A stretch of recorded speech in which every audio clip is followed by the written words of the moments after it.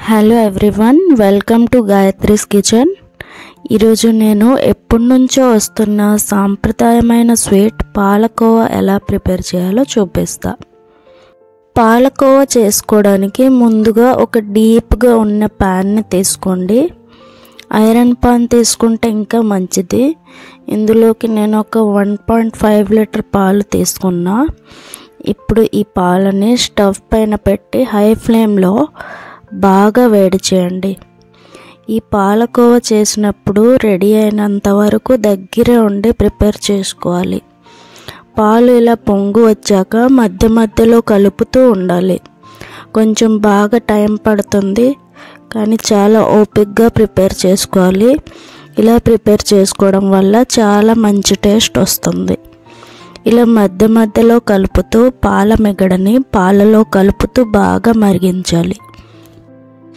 ఇదే ప్రాసెస్ని పాలు సగం కంట తక్కువ అయినంత వరకు రిపీట్ చేయండి. చూడండి పాలు అనేది దగ్గరికి అయి చిక్కబడింది. ఇప్పుడు మనం ఇందులో రుచికి సరిపోయినంత షుగర్ తీసుకోవాలి. ఇక్కడ నేను ఒక హాఫ్ కప్ వరకు షుగర్ తీసుకున్నా.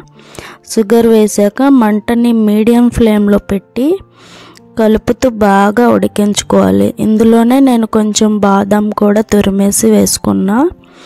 ఇలా ఒక ఫైవ్ టు సిక్స్ మినిట్స్ ఉడికిస్తే పాలకోవా ఇంకా చిక్కబడుతుంది. చూడండి ఇలా చిక్కబడినట్టు అయితే పాలకోవా రెడీ అయిపోయినట్టు. ఇదే టైంలో మనం స్టవ్ ఆఫ్ చేసుకోవాలి ఎందుకంటే ఇది చల్లగయ్యాక ఇంకా చిక్కబడుతుంది. చూడండి చల్లారిపోయాక ఎలా దగ్గర పడి చిక్కగా తయారైందో.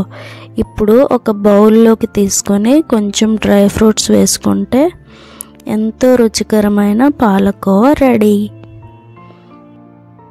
మీరు కూడా ఈ పాలకోవని ట్రై చేసి ఎలా వచ్చిందో నాతో షేర్ చేయండి. అలానే నేను చేసిన ప్రాసెస్ నచ్చితే లైక్ చేసి షేర్ చేయండి. Thank you.